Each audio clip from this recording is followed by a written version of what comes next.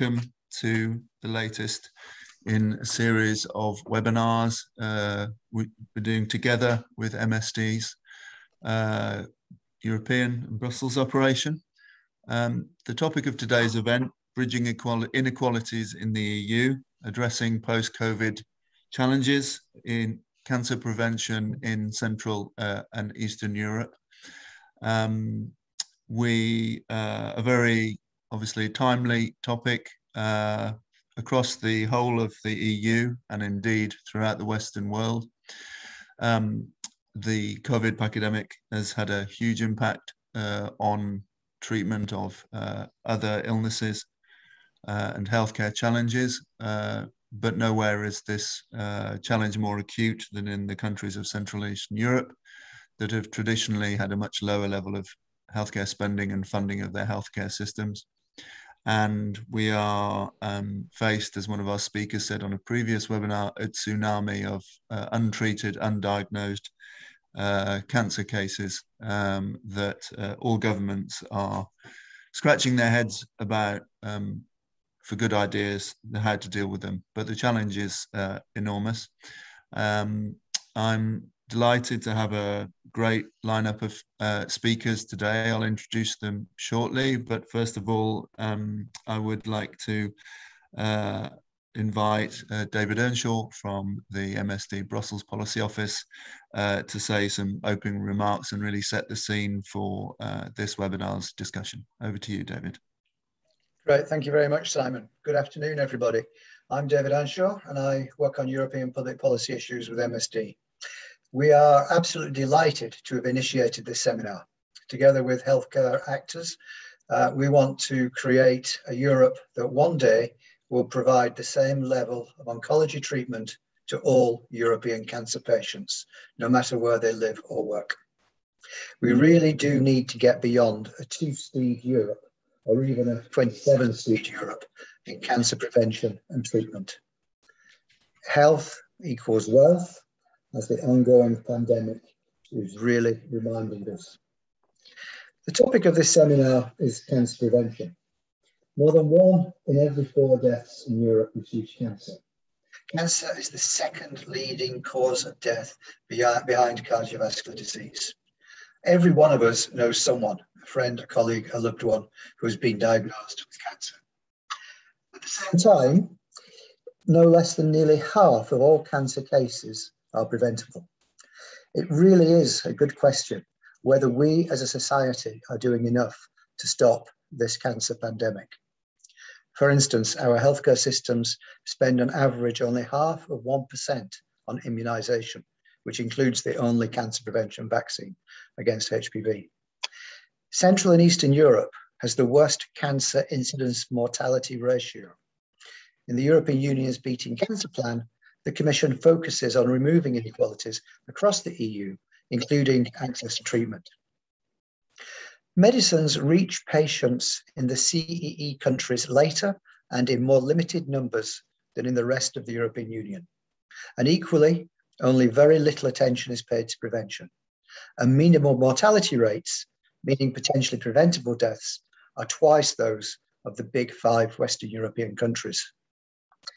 This is the cost of non-Europe measured in human lives.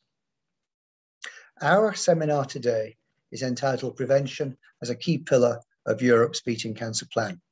Over the next couple of hours, our guests will be trying to find answers to some fundamental questions about how to bridge inequalities in the Central and Eastern European countries when it comes to prevention.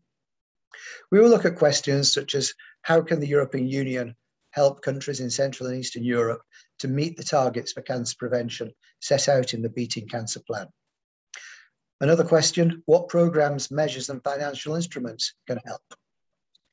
We might want to look at whether a new recovery and resilience fund focused on health systems is needed for the post-COVID era. And also what needs to be done locally in countries to ensure efficient implementation of the Beating Cancer Plan.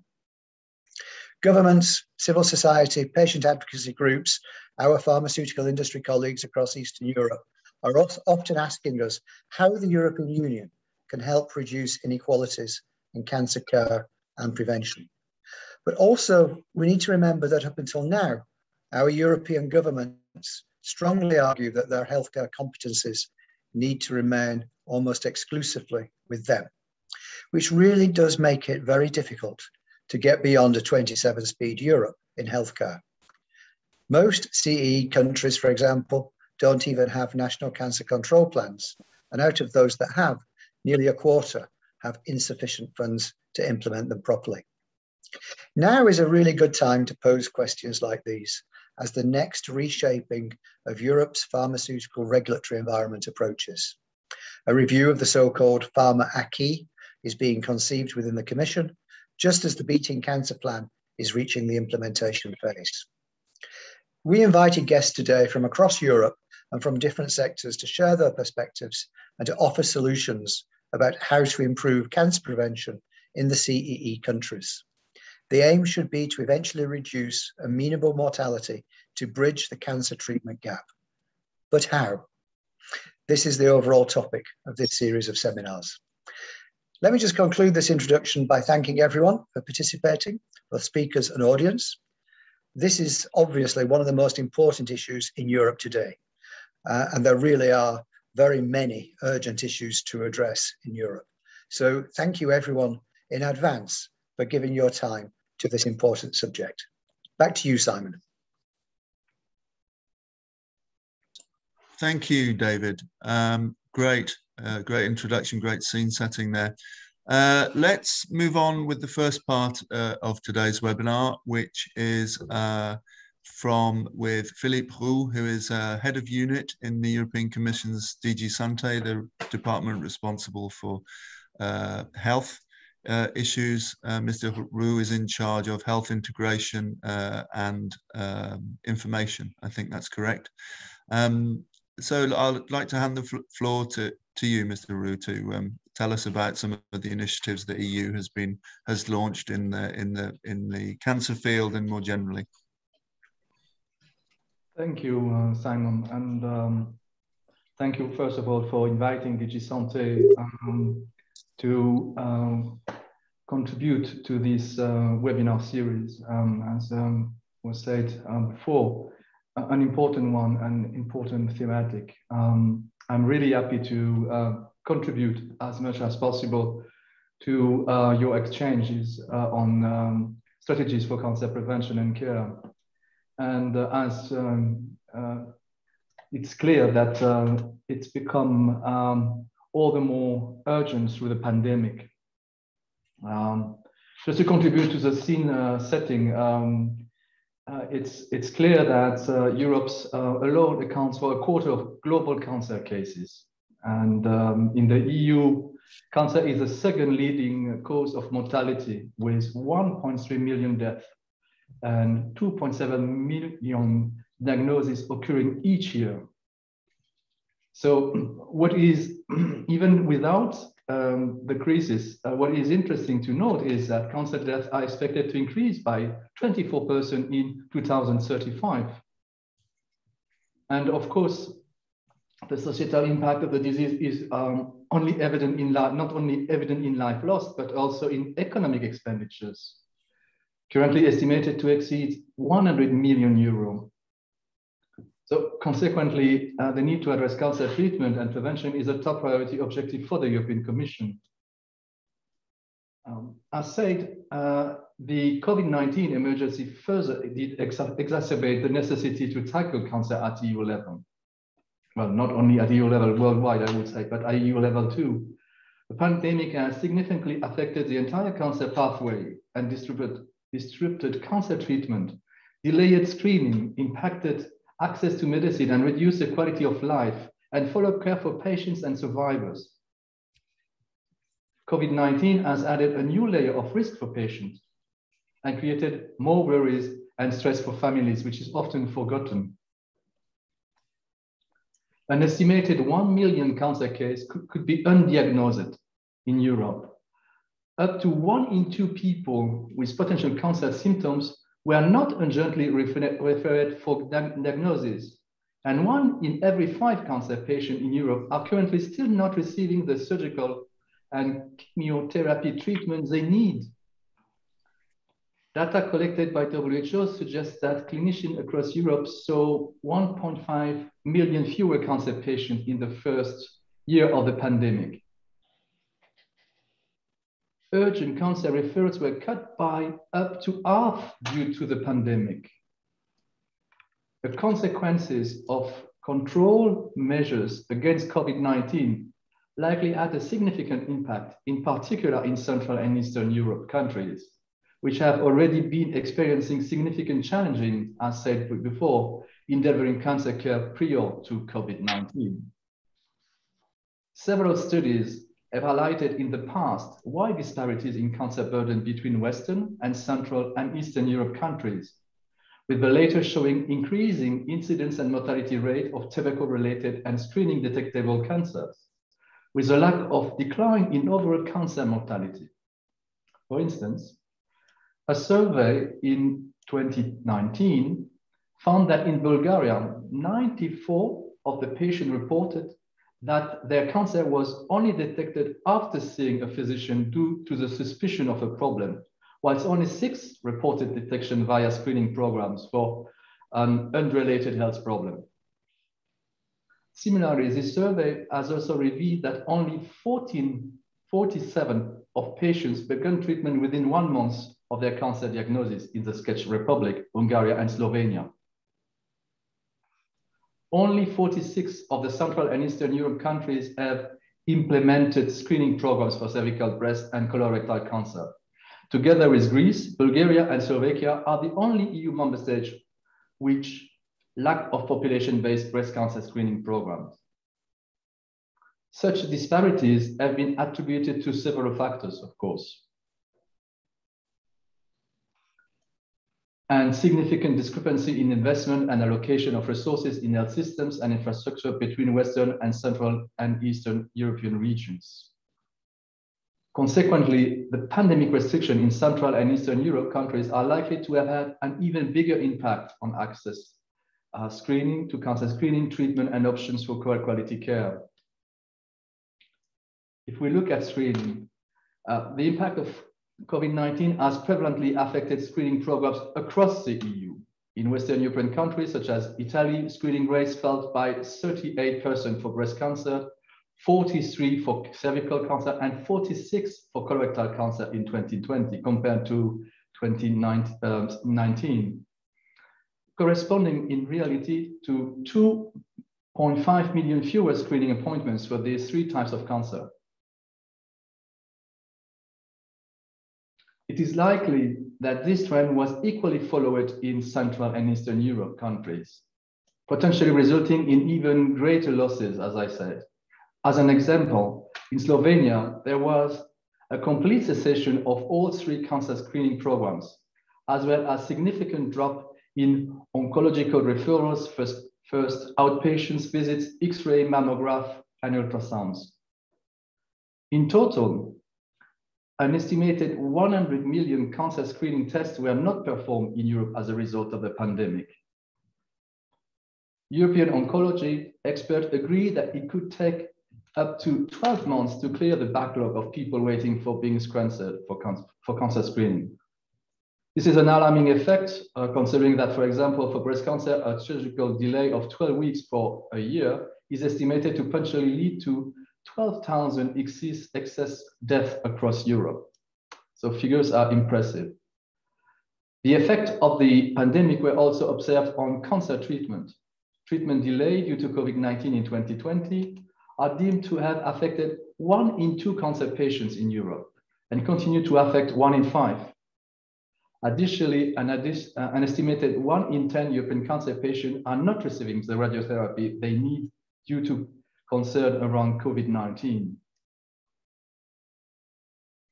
The backlogs in diagnosis and treatment will have significant repercussion on cancer patient survival and quality of life in Europe. As a result, as a result, sorry, we have to count with an increase in incidence and mortality in the coming years. The European Commission is committed uh, to addressing the challenges of cancer care and associated impact of COVID um, mainly by supporting member states and stakeholders uh, through Europe's Beating Cancer Plan, as was mentioned. The plan is one of the Commission flagship initiative and a main priority in the area of public health.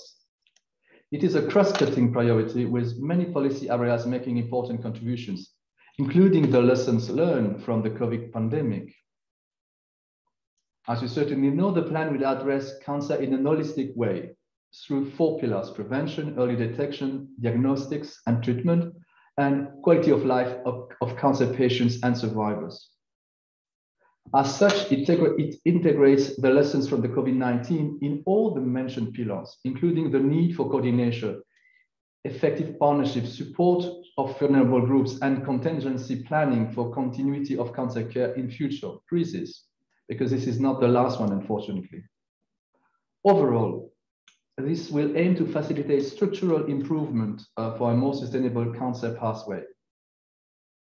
Through a focus on cancer prevention and lifestyle, the plan also will benefit the other major communicable, uh, non-communicable diseases, such as cardiovascular diseases, obesity, and diabetes, which are also pro very problematic in the EU. A horizontal uh, theme for the cancer plan is addressing the significant and unacceptable differences between and within member states, and of course, between socioeconomic population group in access to prevention and care. To address this theme, the cancer plan put forward as one of its flagships the establishment of a cancer inequality registry. This initiative will aim to identify cancer trend disparities and inequalities between member states and regions. As such, it highlights the importance of a solid and comparable data to pinpoint areas of improvement and guide uh, policies and actions to tackle cancer inequalities across Europe, both at EU national and regional levels. In addition, through the EU for Health program and other financial instruments, the Commission is supporting member states in health reform and moving forward towards sustainable and resilient health care systems equipped to address the cancer backlog and tackle any shortage, whether this concern medicines, products, or equipment. And the figures are quite interesting uh, in the field of health. For those who knows um, the poor investment we have had so far, a total of 4 billion has been earmarked for actions addressing cancer. 4 billion. A first wave of call has already been launched in July. And it is worth mentioning that the four actions in this wave are to support member states, one, on HPV vaccination, two, to set up new comprehensive cancer centers on more common cancer and cancer conditions, three, establish a network connection existing with between existing and new comprehensive cancer centers, and four, strengthening e-health telemonitoring services for treatment of cancer patients to reduce infection risks. Very important, this um, dimension of telemedicine, because in, in regions where there is a lack of uh, medical services, I mean, e-health has a huge potential. And now a second wave, of course, was uh, launched on 4, 14th of October to close on 25 uh, January 2022. And that's interesting for us for the audience because they can uh, indeed benefit from these. It contained we eight areas for brands. The first one to support actions to improve access to human papillomavirus vaccination. So very important initiatives to be supported here. The initiative Healthy Lifestyles for Health for All, promoting healthy school environments. Another area to reduce liver and gastric cancer caused by infections. For the EU Cancer Treatment Capacity and Capability Mapping Project, to create a cancer su survivor smart card for cancer diagnosis and treatment for all. For the computer-aided drugs uh, of cancer therapy project, sorry. And for boosting cancer prevention through the use of European Code um, Against Cancer and other concerned actions. So a number of areas where there are possibilities. COVID-19 has reminded us that health is not only the responsibility for the health sector, and I think it is also an important message here for me. Uh, instead of good uh, public health and strong resilient health system requires a genuine health in all policy approach. It's very important. If we don't have a health in all policy approach, it's very difficult to have results, tangible and solid results. The pandemic has also shown a light on the tendency of underfinance and underprioritize our national health systems. With the EU for Health uh, program and the, the, and the Recovery and Resilience Facility, the Commission will deliver specific support for health reforms and resilient health systems. The European institutions recognize that governments and public health authority cannot alone address the increasing health and social economic challenges associated with cancer. An integrated health in all policies and multi-stakeholder approach is needed to effectively reduce the impact on cancer. A strong commitment and full cooperation of everybody is needed to effectively implement the cancer plan and its actions. That is why, for me, the exchange like this seminar with the endeavor to address the post-COVID challenges in cancer prevention uh, in, uh, and uh, bridge uh, inequalities in the EU are so important. Thank you. Great, thanks uh, very much, uh, Mr. Roux. I mean, I'm I'm not surprised, but you paint a a very challenging picture. Um, some of those statistics are, are really quite quite worrying. Um, let's uh, then move on with the next part um, of uh, the webinar, which is a panel discussion. And allow me to just briefly uh, introduce um, our panelists. We have uh, from Romania, Professor Patriciu uh, Achimas uh, Cadariu, who is um, the secretary of the, he's an MP uh, and the secretary on the, uh, this is the English translation, I hope it's correct, the Committee for Health and the Family. Uh, Professor Achimas is also uh, a former, it was a former government minister, so he'll have some very interesting views on what it's like to fight within government to make healthcare spending a priority. Um, and he's an oncologist uh, by background.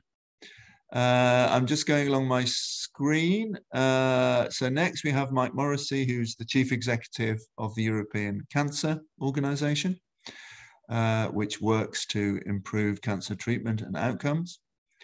Uh, William Flanagan from Open Sky, which is uh, a consultancy that uh, works with data and has some interesting results and analysis um, on uh, cancer treatment and um, presumably on uh, on the issue, on issues of e-health and telemedicine that Mr. Roux has flagged up.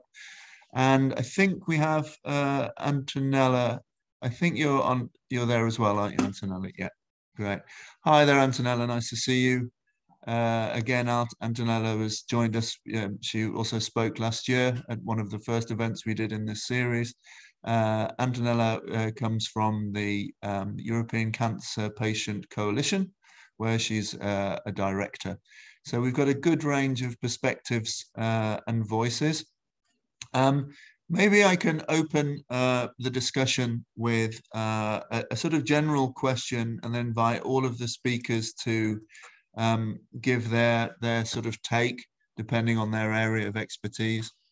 So, given the existing inequalities in treatment and outcomes between the countries of Central and Eastern Europe and the, the other parts of the EU, uh, plus the impact of the COVID pandemic, what do you think can be done to improve uh, outcomes? And uh, Professor, maybe we could come to you first on that. It's a very, very broad question. Don't feel obliged to answer every aspect of it.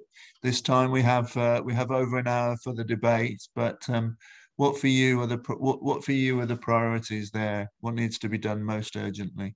Well, that's exactly what I wanted to say. It's quite a complicated answer, Mr. Taylor. Uh, good morning, everybody. My name is Patriciu Achimas Cadariu. My background is a, I'm a gynae oncologist and trained as surgical oncologist as well. And I've graduated the master's in advanced oncology at the University of Ulm.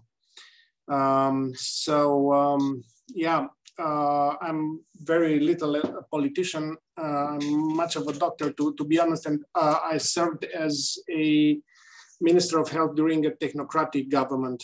Uh, and at, that, at, that, point, uh, I've tried to, to finalize and uh, could realize, a, uh, finalize a project of an NCCP, which was actually thrown away. And this is my motivation at, at this point to, to be in the, the parliament. And this is my, my goal to be able to uh, work with my colleagues on, on an NCCP.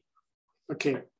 Now, uh, there's cancer, they, there's COVID, and there's Eastern Europe, or part of Europe, uh, which are not that happy about it. And uh, eventually we all die.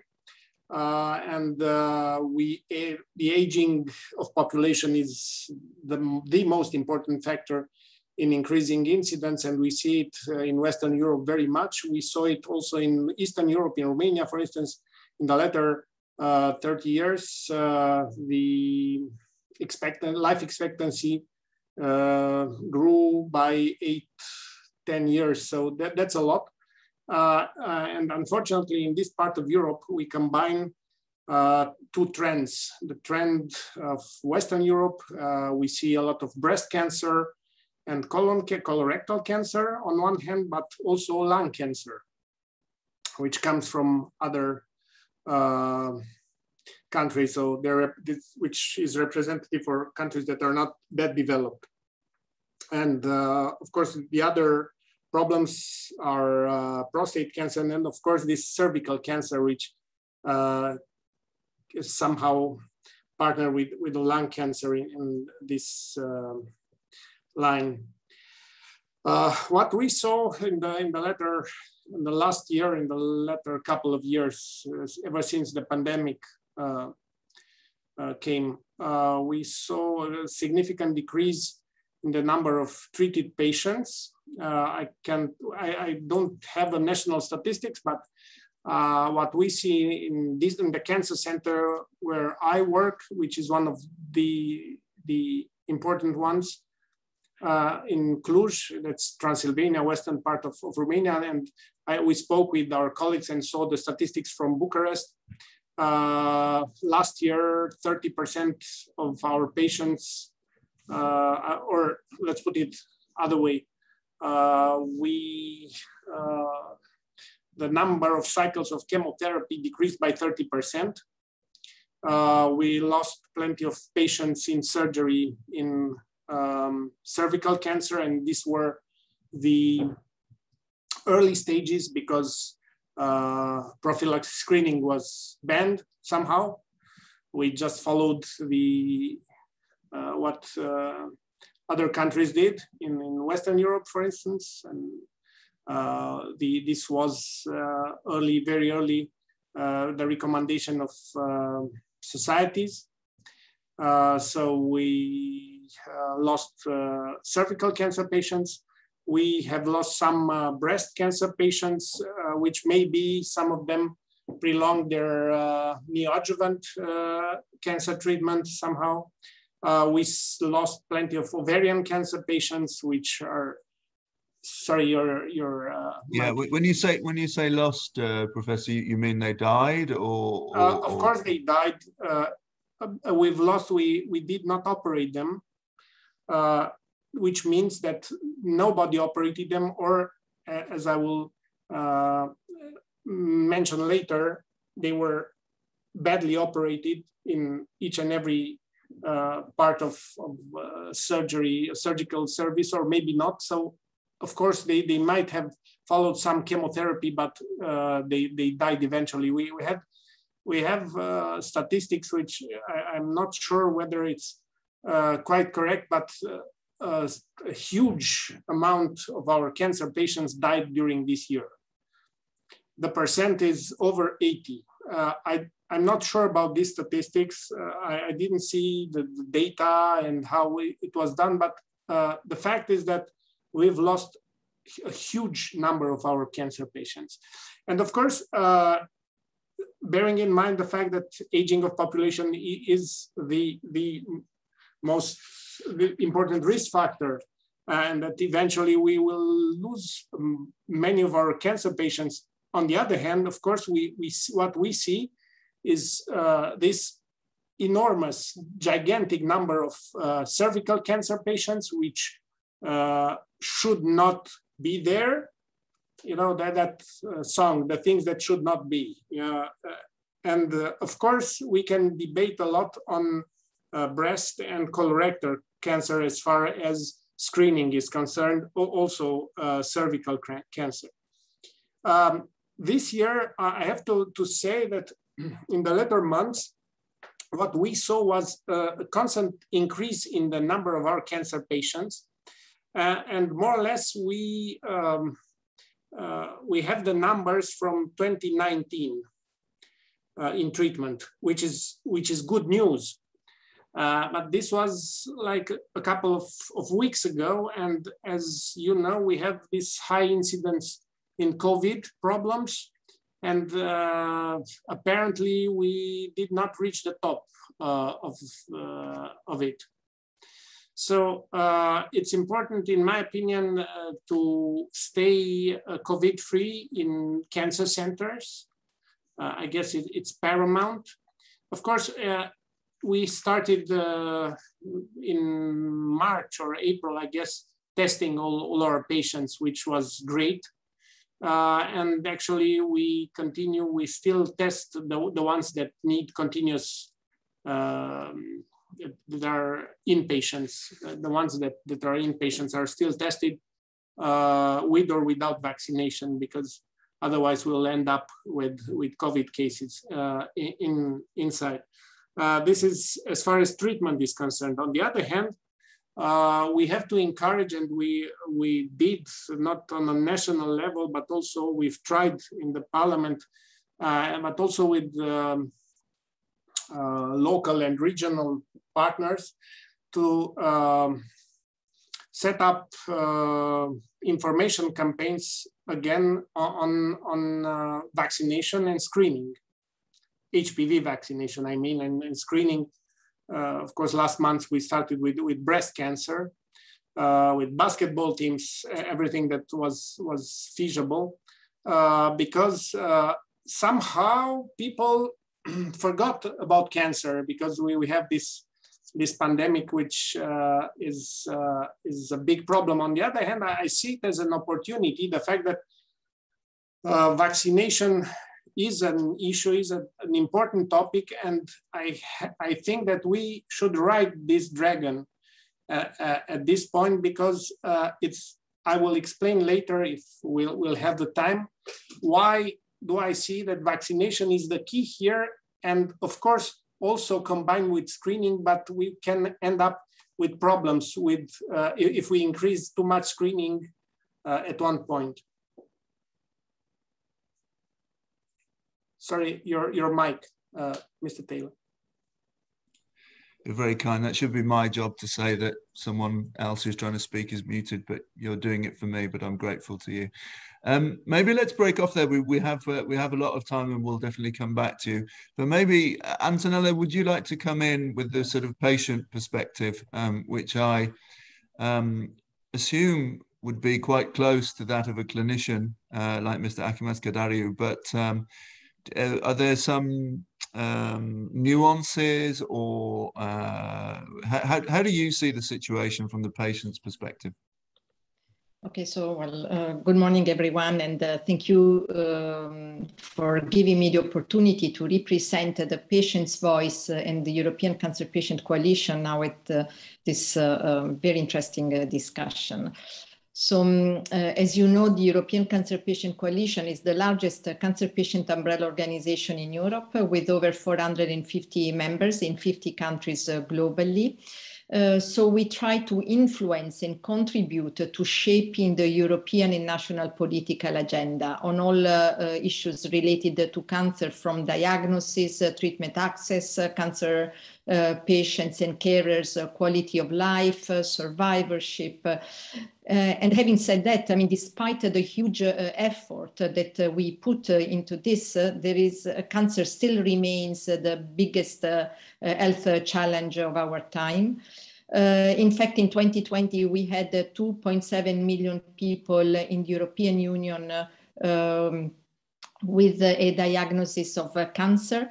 Uh, and uh, 1.3 million people uh, lost their lives, died because of cancer. Uh, of course, uh, we acknowledge uh, that uh, last year uh, was an incredibly challenging year, year with uh, the pandemic changing the, the way we live and work. And this took a particular toll on the healthcare sector with hospitals overrun and many ongoing treatments were postponed affecting high risk groups uh, with the cancer patients uh, among them, if not uh, the, the, the, the, most harmed by the, the new situation. and the, you know, the pandemic has disrupted cancer care and revealed the weaknesses of health systems in the whole of Europe and globally. So not only in Eastern Europe. And the aggravation of the COVID-19 pandemic on Eastern Europe is based on the fact that it affected a system that already had very important problems. And uh, these problems are also closely linked to major disparities that exist in access to cancer care and overall survival rates across Europe. So from the variability in cancer diagnosis, uh, screening services, and unequal access uh, to quality care and treatment options uh, to inadequately implemented national cancer control plans, or lack thereof and disparities in survival and patient rehabilitation, and um, the, the, realities of cancer patients in Europe differ tremendously. Uh, for example, uh, if uh, we look at the five-year survival rates of cancer um, across Europe, the gaps are very significant. So regarding just if, if, we look at the colon cancer screening, the five year survival rate after treatment averaged at 52% in Eastern European countries compared to 63% in Western Europe. So this uh, to us uh, is unconceivable because uh, I mean just the, the inequalities on, on screening uh, Uh, are, um, uh, I mean, reflects then on the inequalities in the survival, uh, uh overall survival rate.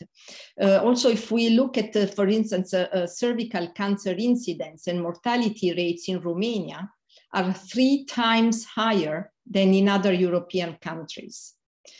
if we look at breast cancer, countries such as Bulgaria, Romania, and Estonia have a low five-year survival rate of 75 to 78% compared to Nordic and Western European countries with a rate of 82 to 87%.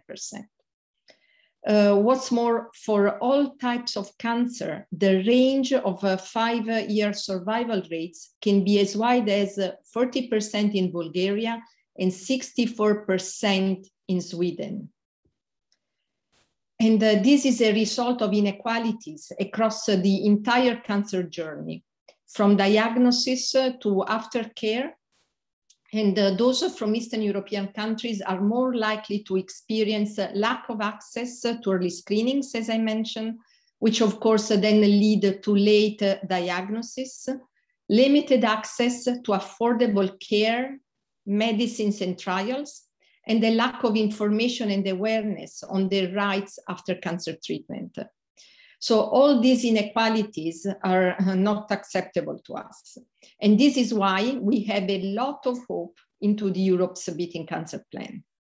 And we believe uh, that Europe's uh, Beating Cancer Plan can be a fundamental tool to reduce, if not eliminate, these inequalities across Europe also providing a framework of policies and incentives for their implementation across Europe.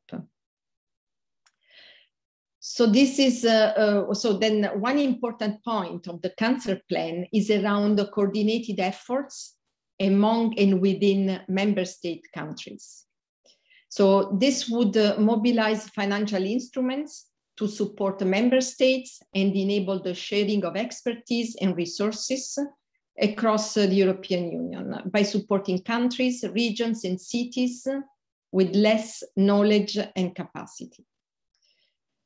So a helpful and vital first step to ensure the efficient implementation of Europe's Beating Cancer Plan would be the accessibility of data and the importance of efficient and up-to-date cancer registries in each country. This uh, will help uh, researchers uh, to exchange findings between small and larger member states and to have access to crucial health data on the potential causes of cancer and promising treatments for it.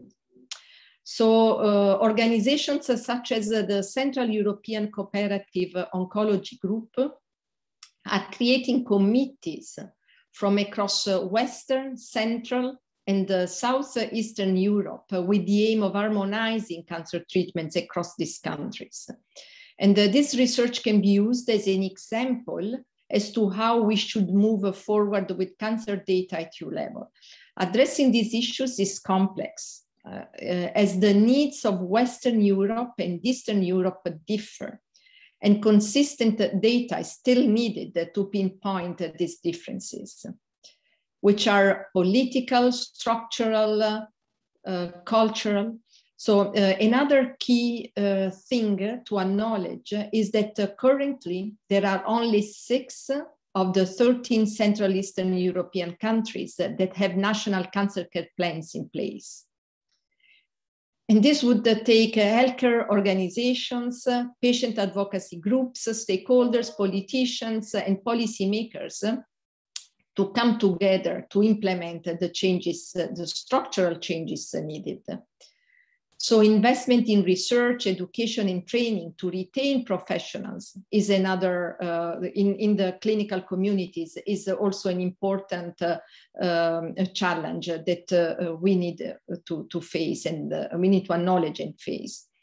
Then there is the digital health, which is also a, huge uh, contributor to greater patient empowerment, but it is also, you know, it came out very clearly during the pandemic that digital health is uh, uh fundamental and we, we need to acknowledge uh, and, um, uh, and uh, reduce inequalities in accessibility to, to digital health.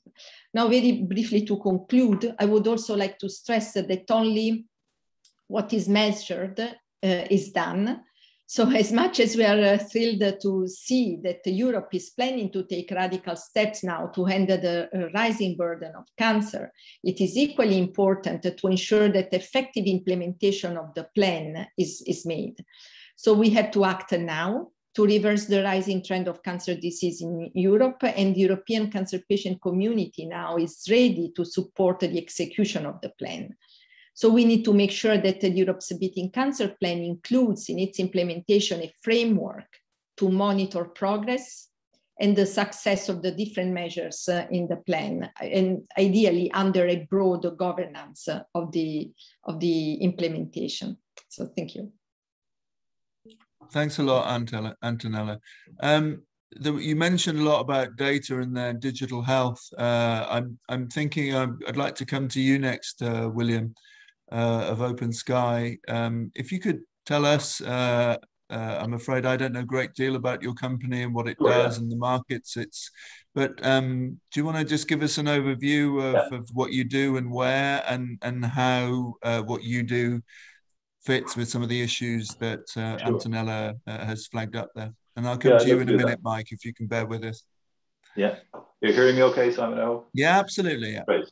Okay. Well, thanks very much for inviting me to talk. Um, this really excellent discussion. Um, so what I'm going to do is the question was what can be done to address uh, inequalities. Um, so what I'll do is I'll address this by trying to highlight things that I guess will enable us to make the best available policy choices. Um, and in particular, how we can learn and collaborate as member states across the, the EU. And there's probably kind of a recurring theme that's been highlighted. Philippe started or sorry, David started talking about the potential 27 speed Europe, which obviously nobody wants. Mm-hmm. Um, and Antonella has just been talking there in particular about the need for collaboration and, in my mind, certainly standardization across the across the, the EU. Um, so what I'll do is I'll talk a little bit about some of the things we've done here in Ireland, and um, then I'll talk a little bit about maybe a potential European perspective on on that and where we see this going. So, just here in OpenSky, we're an ICT consultancy. Uh, information technology is what is our business. Um, so I'm a technologist, not an oncologist or uh, clinician, but so I would state that up front. It's a very important point to make. Um, and we've been working with Irish health authorities here for about 15 years across a range of different areas. And one of those has been the, the maintenance and ongoing support of the immunization system for, for schools here, which includes the HPV vaccination, also MMR, MenC, Tdap, and, and so on. Mm-hmm. Um, and what I want to talk about is the way that we can use data systems and digitization to support vaccine preventable uh, diseases. I'm working on a project at the moment with an oncologist who is a really good line of that the best way to deal with cancer is to not get it in the first place.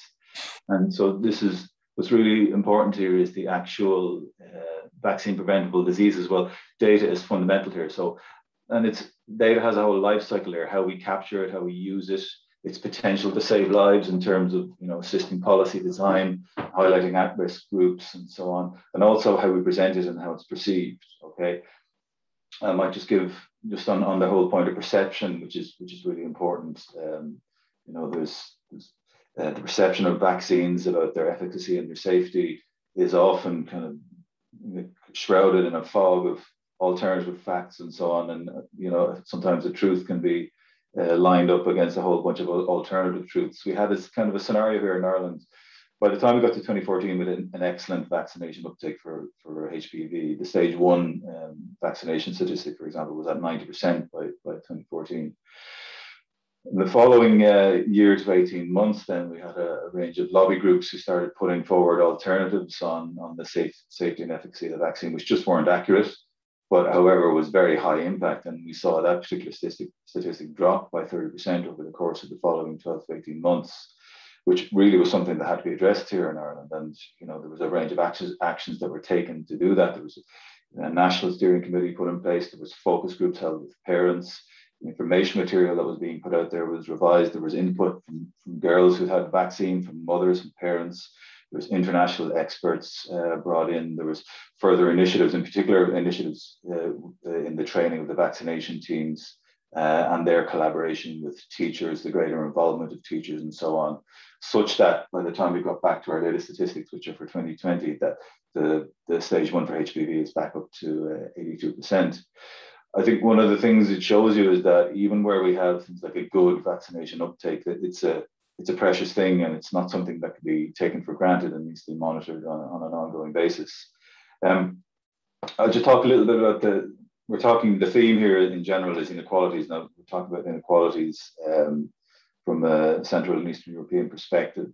Um, I would say that we don't uh, have a huge footprint. We don't have a huge footprint in terms of uh, health systems in Central Europe. But what I will do is just talk about inequalities. Inequalities exist everywhere. They exist within Ireland, uh, within regions within Ireland, and so on. And I'm just going to talk a little, little, bit about how data has a role to play there and how information systems have a role to play there. So in our system with, with the schools vaccination system, schools immunization system, excuse me, we capture characteristics at the school level. So that would be the school ethos, the disadvantaged uh, status of the school, its co-educational status and so on. Uh, and then monitor things like the uptake uh, of the vaccination across those different uh, characteristics. Um, so, for example, we do see in terms of disadvantaged uh, uh, schools here, you see a mean uptake of uh, about 5% lower than what you would see in non-disadvantaged schools. Although interestingly enough, we don't see a huge difference when it comes to religious ethos of, of the, the schools and so on. So the question would be then, how would you design policy instruments then to actually you know, deal with this? And, and there can often be challenges with that, especially with, with the data and how we're capturing the, the, data, the level of granularity that we can actually get. So the people who know their students best, for example, will be the parents and then the teachers. The vaccination teams are only coming in once every year and they only see those, those people once, once or twice. So, you know, capturing information down to the granularity of the students, such as, you know, things like ethnicity, language capability, literacy, the literacy of the parents, and so on, is really crucial influencers of things. However, we not, may not always be in a position to capture that either ethically, legally, um, from a, the data protection rights of those individuals. Um, but obviously, the role of the teacher is crucial as the interface to the. And I'm talking primarily here about Ireland, where the vaccination program is, is driven entirely uh, through schools, or sorry, the vast majority of, of through schools. And so just to expand on that point uh, on data, we're about to do a, we just started a very interesting project with um, MSD in partnership with the Royal College of Surgeons in Ireland. And what we're looking at is the state of the art if, in the use of information and data uh, systems across the European Union, okay, and information that's used to monitor uh, vaccinations and cancer registries. Um, those are two very specific things because they're they're really important from a technologically and a, and a policy perspective. So, for example, I, I mentioned policy there. Are, are the vaccination programs are they in place? Are they strong in the first place? Are they schools based? Um, what is the role of teachers within those? If teachers are involved, is there collaboration with vaccination teams? How are the campaigns run? How are the data protection constraints dealt with, and so on? We'll be looking at that at a pan-European uh, basis. We'll also be looking at the technological infrastructure and the methodologies that are used. Uh, so, for example, how the information is captured on the vaccination event. Is it done in real time? Is it captured on paper? How is that information uh, fed into a central uh, system, if it is fed into a central national system? um, and how might the data quality be uh, rated for something like that? Uh, is it digitized and so on? Is that information linked to a unique health identifier? Um, and I mentioned, for example, the, the approach to, to GDPR and so on.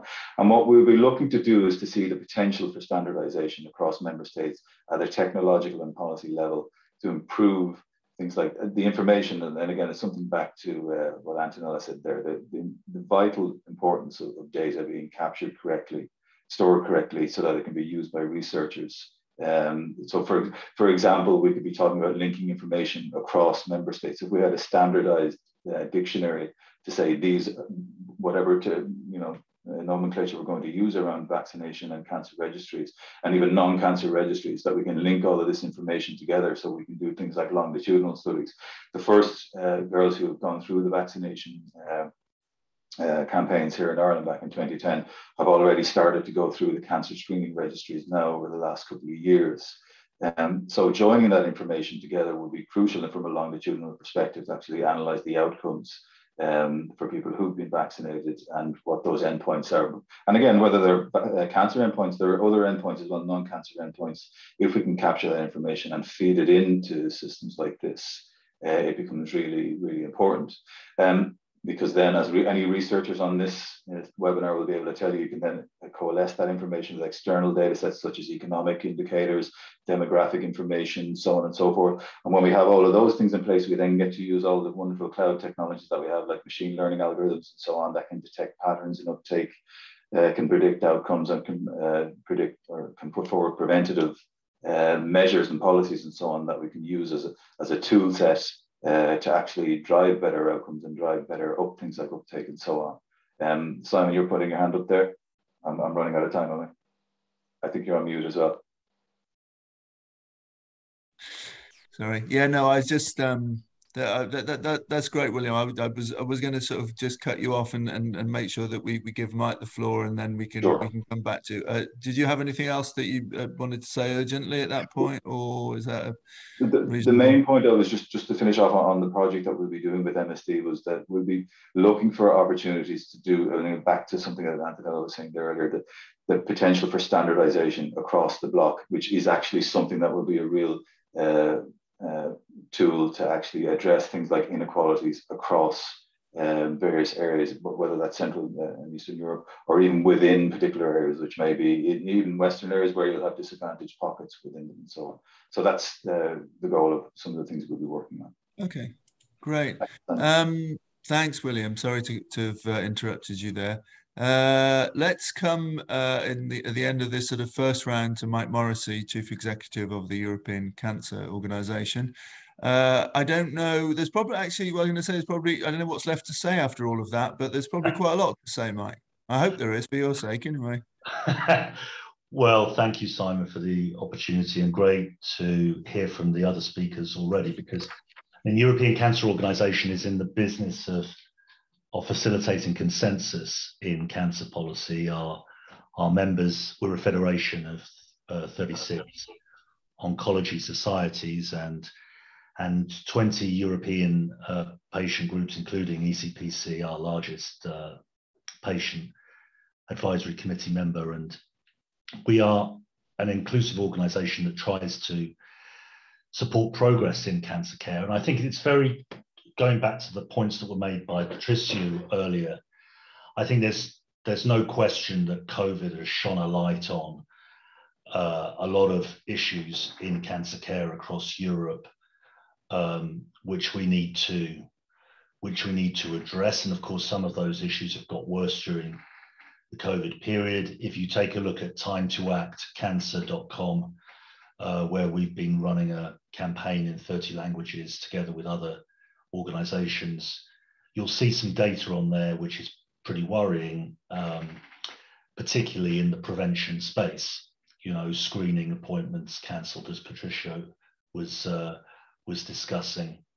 Pretty worrying stuff. And I think one of the most important things we uh, are working with Antonella and ECPC and others on is the issue of data that that continues to measure um, inequalities and measure success, hopefully. Our big hope, of course, is that having called for EU intervention in cancer care for many years, that the combination of the Beating Cancer Plan, the Cancer Mission, the billions of euros being put into cancer in the, in the coming years, our hope is that we will be able to address some of these deep seated, in many cases, issues which have not been helped by the national competence issue and which the Beating Cancer Plan has a chance of resolving uh, regardless of the national competence issue.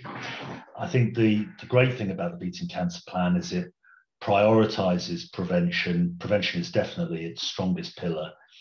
And it says, how is it that uh, in some countries and regions of Europe, prevention is much more effective uh, in those countries than in other countries. William was talking a lot about HPV vaccination, and our HPV uh, Action Network has done a lot of work on this. Um, and it's it's incredible that there is such a wide variety of practice across regions and countries um, for a preventable cancer. All you got to do is have the vaccine and you prevent that cancer. Well, you know, we should be we should be doing a lot better job on that. Um, and the Beating Cancer Plan has HPV as part of it, as a flagship policy, HPV elimination as a flagship policy. And we think, rightly so, the, the call for a tobacco-free generation is a, is a big headline, but it's, it's, it's a really strong one. What we need, of course, is national cancer plans, and Antonella rightly pointed out the gaps in Central and Eastern Europe in national cancer plans. We need we need them to um, make the Beating Cancer Plan live in their countries, be dynamic in their countries, um, hopefully with resources from different organizations and support from different organizations across healthcare, including the EU, to make this stuff happen because it is as close as unforgivable as it can be that the prevention issue is such a big issue across countries that there's there's lots of in that issue we know prevention there's early detection there's screening and there's lots of practical elements to all of that. But but it really should be the the focus of uh, national cancer plans to make sure that people don't get cancer in the first place as was said as was said earlier. But to be able to do all of this, to be able to measure the success of the Beating Cancer Plan, you've got to have measurement. It's no good doing all of this work and pumping all this money and resource into it if you don't have a, a way that the public, not a load of academics somewhere, the public can understand whether the plan has been successful or not and where the gaps are not always between countries, not always between regions, uh, but sometimes within one city, that you've got a wide variety uh, because of socio-economic reasons, for example, one poor part of the city, one richer part of the city, and you've got very, very different um, standards of cancer prevention and care. So we're all for um, identifying that. And we had a meeting a couple of weeks ago in our inequalities network with OECD that have been commissioned by the Commission to put together the Cancer Inequalities Registry. We're keeping our fingers crossed that that really helps us address some of these issues and, and is, is really something that's public facing, that's simple to understand, that can be that can really touch politicians, policymakers, and the public in their in their work on uh, prevention, amongst other things. But you know, inequalities is a big topic too, and inequalities is not just about geography. There's a lot of inequalities relating to gender, sexuality, socioeconomic, uh, and others that we think ethnicity, of course, is an important one. We think it's important that geography has its rightful place in the inequalities debate, but it's not exclusive. And I know IARC um, and the OECD are are talking about this. How how can we best make sure that we are in our in the high hopes that we have for Europe's beating cancer plan, we can make sure that we tick off as many inequalities as possible. But prevention should be one where we can where we can be optimistic, um, as always, by working together as one European cancer community. Okay, great. Thanks very much, Mike. And uh, we're sort of into the final half an hour of the webinar, so let's open up a little bit. I, I just, if I make one quick observation, I wonder if one, if there's one positive effect of the COVID pandemic is that actually there's massive attention on the level on the vaccination rates um, now that might actually be beneficial um, looking at other um, other diseases. Um, I don't know if it will work like that, but I mean, obviously, countries are keen to show off the percentage of people that have been double vaccinated, etc. So there might be a maybe one positive element there. That's um, really, I was going to say. So, sorry, Simon. I just think that's please such, no, go on, that, please. That's such a strong point, and we've been in touch with ECDC about this because the impact of them demonstrating to the public the power of vaccinations in different countries in Europe. The same mm-hmm. thing could be done for HPV. Mm-hmm. Now they haven't got the resources; it's not the focus right now. But mm. but that's what we've been calling for with ECDC. That that that's what the public want to see, and that's what get thing, gets things moving. Yeah, and of course, um, communication is always a, a major challenge in all public policy, but I don't know whether you can say more in health policy than others, but but it's as important. I just want to come back to uh, Professor Achimas-Cadariu. Um, just an interesting point there. I was struck by the number of speakers that emphasised uh, the the importance of data, data collection, effective measurement. As a clinician, is is that a, is that also a priority for you, or um, or is that not you know is that is, is that a distraction from spending precious resources on treatment? Or how do you see the value of that of of, of having data? I mean I, I liked antonella's phrase about only that which gets measured gets done. Do you um do you share that view? Oh, well is the only correct view in my opinion. Uh, I, we sometimes have meetings and i have uh, colleagues who say they, they treat cancer and I say, well, where's, where's the data? Uh, where's the evidence? I mean, otherwise you, you can be the, the best surgeons in, in the country. Uh, show me the evidence. Well, I had, I mean, I, am a lucky guy. Uh, I've worked in this cancer center uh, in Cluj, uh, which is the one that has an active and um, uh,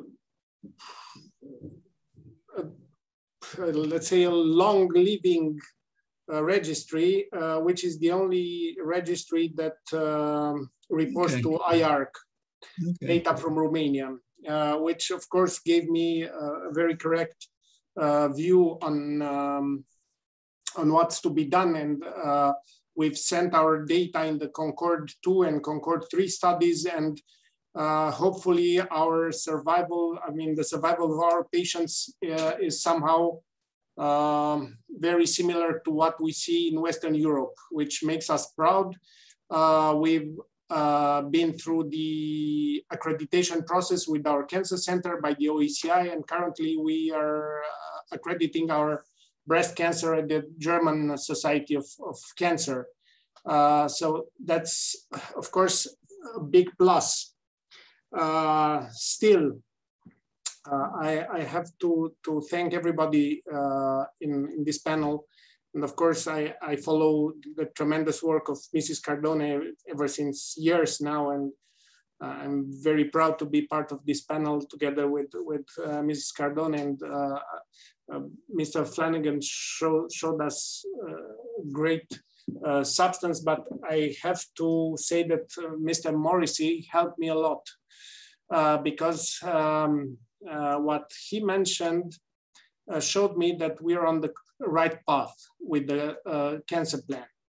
Um, our cancer center, I mean, uh, we, we did plenty of work in, in, in, cancer in this country. So we, what we did in 2012, we uh, convinced the IAEA to bring uh, an assessment of our country, an assessment, uh, the, the impact mission, you know, from the Atomic Agency from Vienna. Oh, okay. I, I. I, was, you know what? I was just going to ask to explain that acronym, and I thought that sounds the, like the Atomic the, Energy Agency. Yeah, but... it is the Atomic Agency. Yeah, and uh, ever since, so uh, we managed to to have the, the full assessment of our country and the picture. Of course, plenty of things changed from 2012 uh, uh, to 2021, but uh, even though uh, we have more capacity in radiotherapy, both uh, public and private, still we cover only 60% from what we would need in terms of, of radiotherapy. So uh, what uh, I was uh, starting to say is, yeah, uh, we need, of course, prevention, we need screening, uh, but if we will push on screening, we'll end up with plenty of lesions in terms of, uh, yeah, cervical uh, precancerous or uh, dysplasias or cancer, then in breast uh, and of course in, in colorectal. And if we lack the proper centers to treat them, we'll end up with uh, over treatment or under treatment, which is uh, both incorrect. So what we what we need to do in our uh, NCCP for the for the next year years is of course develop uh, pro, pr primary and secondary prophylaxis, but also strengthening our uh, treating diagnostic and treating capacities.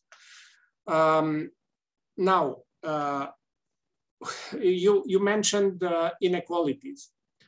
Uh, we see them inside our own country and Eastern Europe countries see them a lot. Uh, urban, rural, uh, socioeconomic ethnicity. Yeah, we have the Roma people, and we we had some very nice uh, projects on Norwegian funding, um, attacking the barriers towards diagnosis and, and treatment on, on these particular groups, uh, the people that are up in the mountains, the people from the Danube Delta.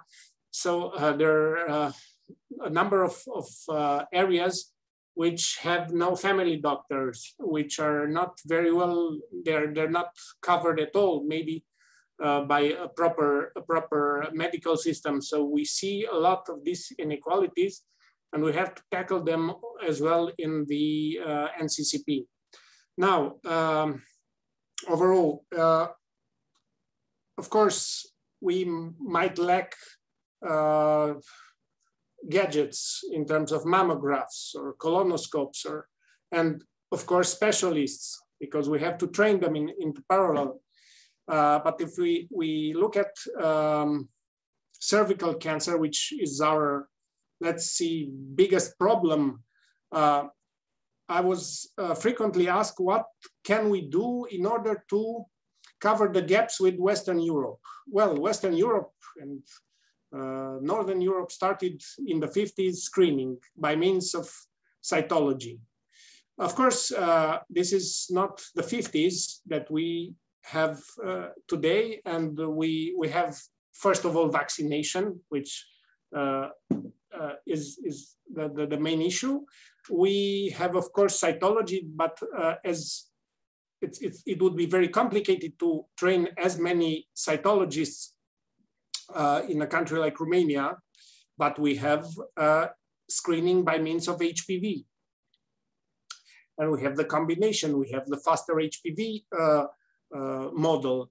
Uh, so we, we have all, all the new technologies the, uh, that, that come uh, in, in, the, in 2000, in, the, in this decade. So I guess if we would cover them by, by means of the our NCCP, we could, I mean, not uh, uh, cover 90% uh, by, by means of vaccination. By the way, we have 5% at this point. How, uh, I mean, a proper NCCP should look uh, as, as measurements, as Mr. Morrissey said, we, we cannot hope to cover 90% of our population by in four or five years if we uh, had have 5% by now. Uh, still, it, it would be the, um, the, the most, uh, the, the, easiest uh, way of uh, fighting cervical cancer uh, under these circumstances.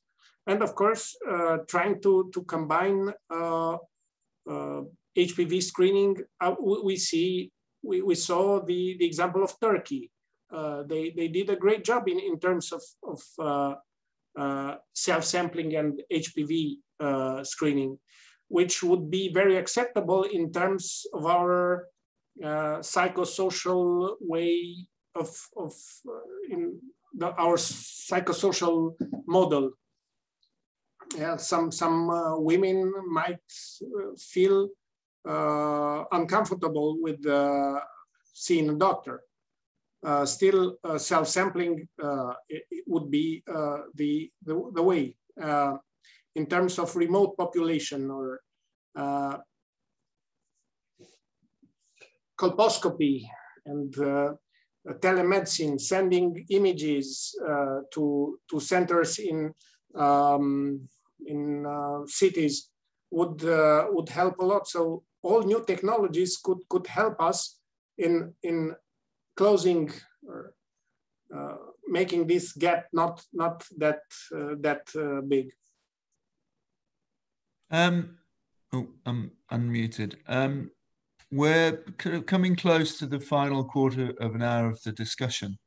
Um, I just want to invite uh, people following us online. If they have some questions, you can use the chat function.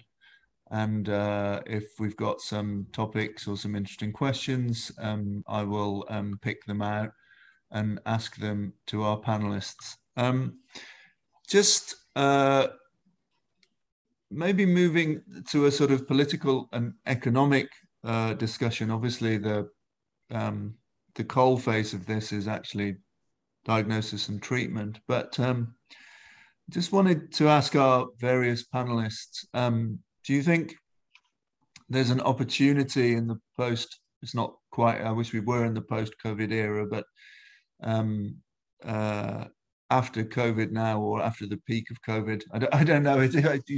You, you can't sort of say any of these things with confidence. But do you think? Do you think there's an opportunity to make arguments about the value of prevention, uh, of screening, um, uh, because obviously resources, public resources are always finite. There's going to be greater pressure to reduce the debts that have been accrued because dealing with um, the economic impact of the COVID crisis. And yet within the national pictures, we see, you know, um, some of the poorer, you know, not the wealthiest EU member states, Hungary has a good record of vaccination. So it's possible to have good outcomes with well-designed policy. So I just wondered whether our speakers thought that there was an opportunity um, for a rethinking of uh, healthcare uh, policy strategy uh, and the priorities within it. Because I, have been quite struck by you're all positive, but I suppose you're all thinking of patients' welfare, and even even if the even if the task is hard, um, one one would never give up. And we, I see we have a question from the audience, but let, let me just ask my question or ask the, the panelists to come in on my question if uh, if some of you would like to do that. Just well, I can definitely. Oh, Antonella, please. Yeah, right. Well, I can definitely uh, start the or get the ball rolling on this issue. As it was already mentioned uh, uh, before the best treatment to cancer is never get cancer.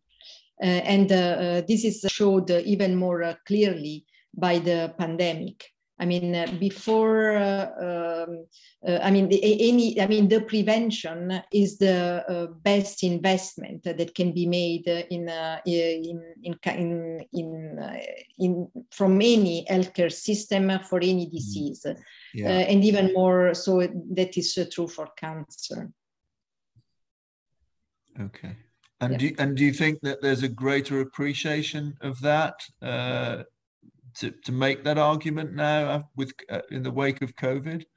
Uh, well, definitely yes, uh, because there is a, uh, you know, we always uh, mention raising awareness among the general population, and nothing has raised the awareness more than the, the pandemic. I mean, it has mm. reached everybody, even I mean, with the with the people who are against the vaccination. They're even making a, a very good uh, uh, publicity to the importance of being vaccinated, to be frank, on, on any disease. And, um, and so that is uh, very important and now it's uh, on the on the mouth of everybody uh, that how, how important it is a, a, vaccine for, for for for the health of the citizens so I think as well, Simon, just there's there's a level of fanaticism in, that's developed in the COVID nineteen anti-vax type scenario that I'd be somewhat worried there may be some overspill then to other vaccination programs that are already well established, yeah. well proven, yeah. such as HPV. That we need to be ready to see some kind of overspill on that uh, and to be able to deal with that. And maybe not necessarily by um, marginalizing and trying to alienate people who are making these arguments, but by reaching out to them and explaining that all the evidence is there, the efficacy is there, the safety of these vaccines is there. And particularly in the case, in the case of Gardasil, it's been there for, for many, many years now, and the track record is there. Okay, great. Mike, did you want to come in? I think. Yeah, I mean, I think every health system is different, right? In in whatever country or city you're in, and some health systems are great. You know, I can tell you about a loved one of mine in the UK. She felt a lump in her breath, breast. She was she went to a one-stop shop center.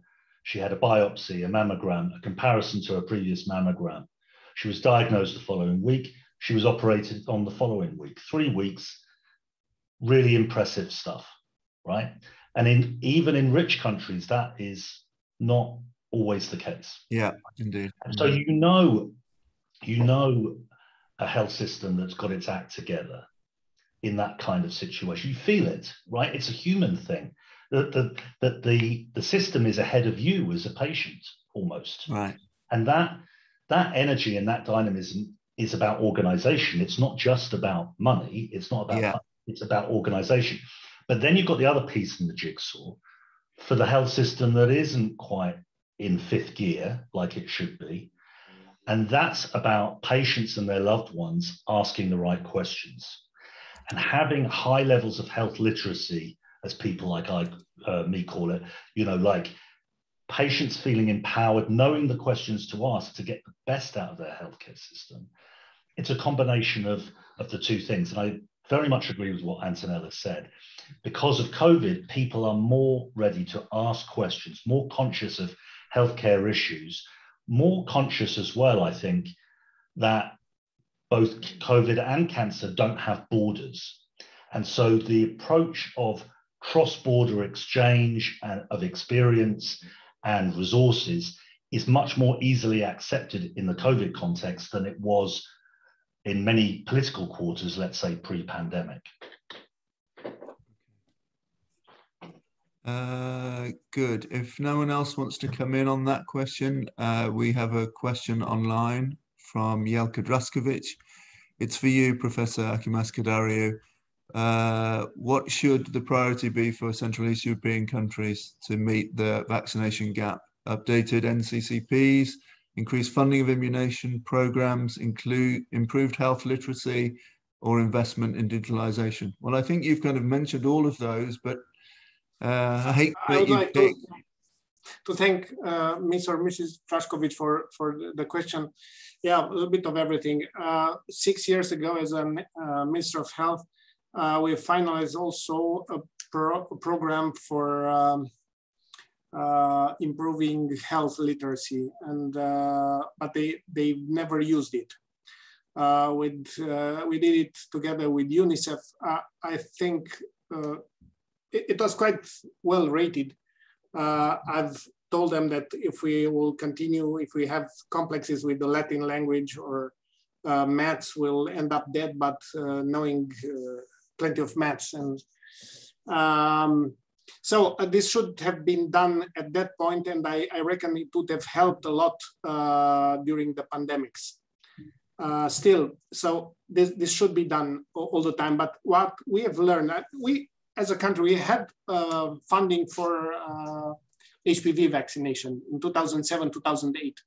And after one round, we end up uh, with two point something percent. And after a second round, we ended up in uh, four uh, percent, more or less like Japan, a catastrophe. Of course, different reasons. I'm not going to debate on them.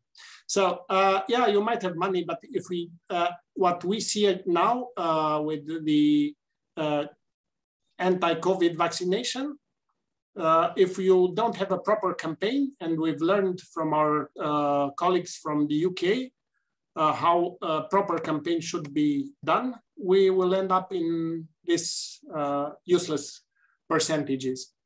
What in the UK was done was one pound for vaccine, one pound for the information campaign and the proper information campaign, which we lacked uh, also during the COVID times.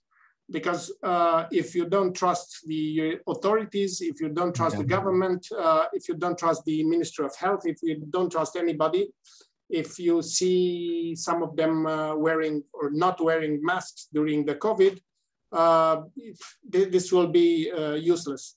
So of course, yeah, we need to invest in health literacy. It will take a generation. We, we have to invest in digitalization. This might take uh, five years, but in order to, to have a proper immunization program, we have to communicate uh, with each and every uh, group of people, with the youngsters, with their mothers, with the, the more, more religious groups, mm. with the ones who might end up uh, with uh, what in Japan happened with the, and of course the anti-vaxxers with the, which are there. Uh, but uh, that, that, that's that's what the ones from the rural uh, areas, the ones from the urban areas, um, so all actors should be there. And of course, in, in a country like mine, uh, church is also very important. So uh, all, all uh, churches should, should be involved uh, as well as, as all other uh, people who can really uh, influence people in, in getting vaccinated. Okay, I mean, I'm aware that um, you're being called upon to answer a lot of questions, Professor, but it's because you represent the clinician side and the or you've and the politician side, although you've sort of distanced yourself from the politician side. But but as you were saying about the the lack of take up of your your first attempt or your your earlier your an earlier version of the national cancer plan, how, how does it how does it work in a government? I mean, that um, within a government to to make the case for the prioritization of healthcare spending. And I mean, I suppose that that isn't even uh, the the national plan isn't even a spending issue. I, I don't know whether it takes up a lot of resources, but it's just to make it a policy priority. Um, what, what, what kind of what, what kind of arguments do you have to be prepared for and defeat to make that? And and I suppose is that you know is that again going to be slightly easier in the wake of COVID? Well, again, a very complicated uh, Because if I just say something else, because I think we all agree, you know, we all, everyone, I mean, it's also, it's clearly in the choice of panelists and the choice of expertise, but everyone agrees that, you know, tackling cancer is a good thing and it should be a greater priority and there's the right way to go about it. But, but clearly it doesn't it, it, doesn't convert into into political priorities. So let, let me put it this way. Uh, I'm very angry uh, about last week. I've seen a 29 year old lady with a breast cancer, which had no genetic assessment. Uh, nobody knew where the tumor was anymore because uh, uh they uh, forgot to clip it uh, and started neoadjuvant chemotherapy. And after five cycles, the tumor uh, disappeared. Uh, the genetic assessment was negative. So how could a surgeon explain to that lady that she needs a mastectomy because everybody else was stupid before? How right. can uh, somebody explain to another uh, 20, okay, nobody asked her about uh, children or anything. How can you one explain what happened to another 26 year old lady, which I, I saw again last week, uh, which had uh, a dysplasia of the cervix and ended up uh, with, uh, uh, uh, it's very complicated to explain how somebody performed a, a conization with a monopolar and ended up with a monopolar in her rectum. So this this is the problem. Uh, I mean, if people would realize that those ladies could have been their daughters, their wives, their relatives, I I, I don't see any other uh, way of, of explaining things because I mean it's very important to see all all these I mean catastrophes. Uh, how how could I how should I put them? I mean, plenty of sufferance, uh, which could be avoided, especially in cervical cancer. I mean, with one shot or a couple of them, or maybe three of them if, if you're older, uh, or if you had the cone.